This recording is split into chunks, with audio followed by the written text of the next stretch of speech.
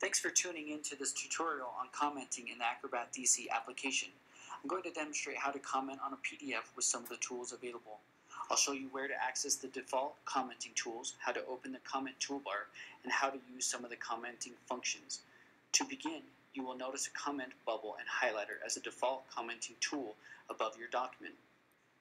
You can place the bubble where your comment applies or highlight text. If you would like more detailed tools than the default tools showing, search in the right rail of the Acrobat DC application. Once there, click the comment icon. A drop-down will appear on your dashboard above your document that contains advanced commenting tools. I'm going to give you a quick overview. The first tool is the commenting bubble that is also located on the default dashboard. The next is the text highlighter that we have already seen in the default tools.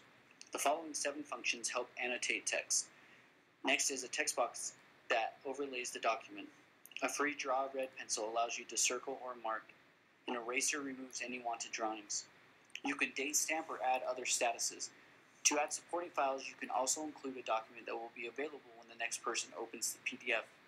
You can add audio files onto the document for context or details. Finally, there is a drawing tool drop-down for commenting.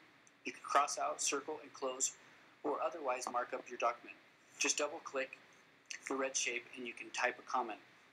Here's a quick example of commenting.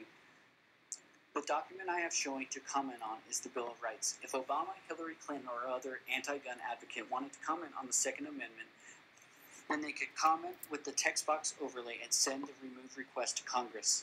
If opening a document with comments already on it, you can simply click on the comment to open, or click on the comment icon in the right rail to have a list appear that you can scroll throughout. Thank you for tuning into this Been Bitten tutorial.